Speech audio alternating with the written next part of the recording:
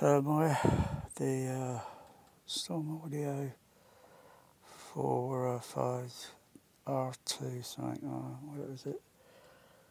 Uh, with possibility of uh, EQ below. Okay, so if there was an EQ that was running, okay, right. So it's 15 hertz, 15 hertz up there up on the generator. 15 hertz up there, okay. Unmute. That's playing around 70, 70 dB. Okay, so uh, filters added in. I'll just keep dropping it down a bit lower. Um, minus 18 see the curve there. Just see uh, roughly the uh, the curve there sloping though. Got a kind of uh, hang on. I think you put this mouse uh, thing down here and then just scroll it along a little bit. There it is. okay. So I'm going to put the mouse over the uh, bypass switch, turn it on and off.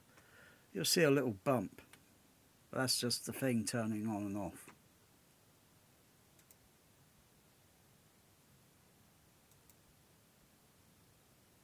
There's no change. So it's whatever this firmware is not doing anything. Uh, but if I uh, um, hang on. So it's 15 hertz on there on the generator thing. It's 15 hertz on the uh, should be should be adjusting.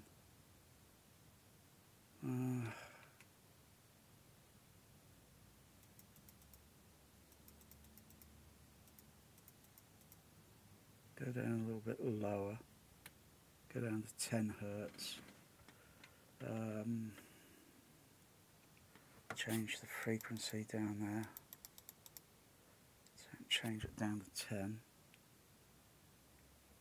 turn the SPL level up because that's, that's just frequency roll off on the, uh, I'll just turn the bypass on and off, otherwise it should, it should work, you know saved and everything. I'll just turn the bypass on and off.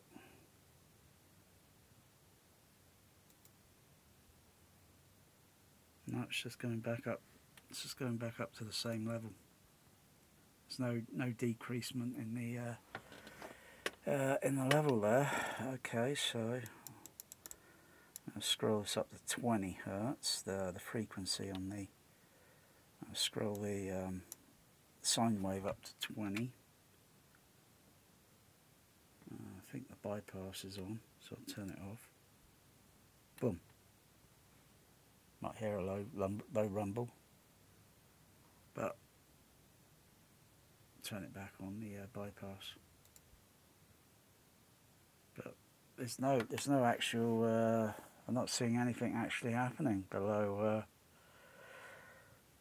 Below uh, below um, down to six six hertz or anything. Nothing.